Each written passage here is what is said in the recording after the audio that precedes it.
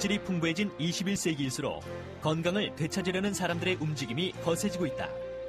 이제 우리 가족을 위한 참다운 건강 개념을 재정립해야 할 때다. 그러나 건강에 좋다고 먹는 각종 건강식품, 그리고 홍수처럼 밀려 들어오는 잘못된 건강 상식은 오히려 심각한 결과를 초래한다. 현대와 같이 방부제, 농약 등 유해 물질이 만연한 때야말로 식생활에 대한 반성이 절실히 요구되는 시대이다. 잘못된 건강 상식 바로잡기 프로젝트. 건강한 삶을 위한 식생활에 도전해보자.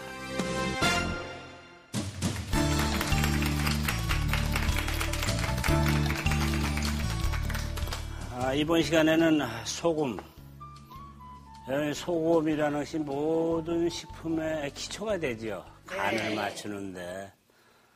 그런데 이제 소금에 대해서 제가 왜 말씀드리냐면 지금 아, 국내 학자나 외국 학자보다도 의사들은 깊이 알아 이게. 거기에 저 자신은 상당히 열이 납니다. 식품 첨가물 분야의 대가 지성규 박사. 생리화학과 식품학을 전공한 그는 반평생이 넘도록 식품 외길만을 걸어왔다. 끊임없는 연구와 개발로 국내 최초로 식품 첨가물을 생산함으로써 식품 첨가물 분야의 독보적인 존재로 우뚝 설 수 있었다. 질병의 고통 없이 모두가 건강한 삶을 사는 것. 그것이 바로 지성규 박사가 꿈꾸는 세상이다. 왜 그러냐. 소금이라는 것은 모르고들 소금을 섭취하지 말라 자꾸 그러는데 우리 사람이 인간이 어디서 나냐면 바다에서 나왔다는 학설이 가장 신빙성이 있거든요. 그렇죠? 이게 지구가 형성되면서 지구 이제 온도가 내려가고 지각이 형성되면서 처음에 에, 물이 이제 어, 바다가 생겼죠, 그렇죠? 네. 바다에는 어떻게 됐어요? 소금이 보통 어, 3%입니다. 소금. 그래서 3%의 소금 물에서 우리가 아, 생명이 탄생했다는 얘기야. 그리고 그 다음에 여러분들이 이제 아기를 배면은 아기가 어떻게 됩니까? 양수 안에서 유용하며 살지요. 네. 양수도 역시 3%의 소금. 그리고 또 이제 의학계에서 의사들도 하는데 이제 심장 이식을 할 때, 이식을 할 때 끈에가 있어서 앵겨야 될 거 아닙니까? 네. 그때 3%의 어, 염수에다 당분까지 이동합니다. 아. 심장이 거기서는 안 주고. 어, 그러니까 소금이라는 게 굉장히 중요하고 인간이 발생되고서부터 소금하고 떨려야 떠날 수가 없다는 얘기예요. 그러면 소금이라는 것이 사실 이제 문제가 되는 것이 의학계에서 어, 혈압을 높이 올린다 이게야. 네. 그렇죠? 소금을 먹게 되면 그걸 잘못 인식하고 있는 거라 이거예요. 왜냐하면 소금이라는 것을 어, 이제 설명하게 되면은 두 가지 물질이 합친 거예요. 나트륨이라고 많이 들었죠? 네.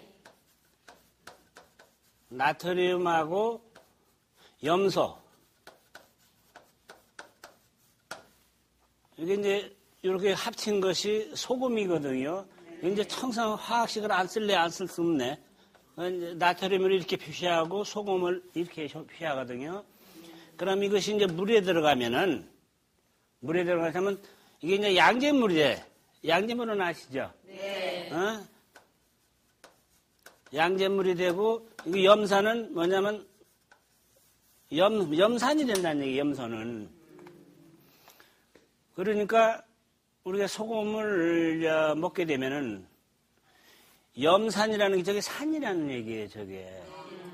저게 산이 우리 이제 혈관을 갖다가 혈관이 뭐냐, 인체는 정말 단백질이 되어 있다는 전제 조건을 항상 생각하라, 이게. 네. 어? 그러니까 인체라는 것이 무슨 실험실에서 얘기하는 초자기구도 아니요, 공장에서 스테레스도 아니에요. 이거 단백질이야. 그러나 식물은 뭡니까? 세로로스죠. 네. 모든 게 세로로스가 주체이고 동물은 단백질 주체라는 얘기입니다. 그러면 단백질이라는 것이 어, 항상 얘기하지만은 산에 이것이 단백질이 응결하거나 응축하거나 그렇죠 줄어들어 산에 의해서 그러니까 우리가 혈관 벽이 이제 이렇게 있다면은 의사들이 얘기하는 혈관이 있다면은 여기에 이제 염소가 들어게 되면 이것이 뻣뻣해지죠. 탄력성을 없어요. 탄력성이 없어진다는 얘기야. 그러니까 심장에서 보내는 혈액 양은 일정한데 이것이 그래도 혈관이 탄력성이 있어야 되는데 탄력성을 상실을 하니까 어떻게 뻣뻣하니까 혈압을 음, 견디질 못하지. 그러니까 혈압이 오르는 거라.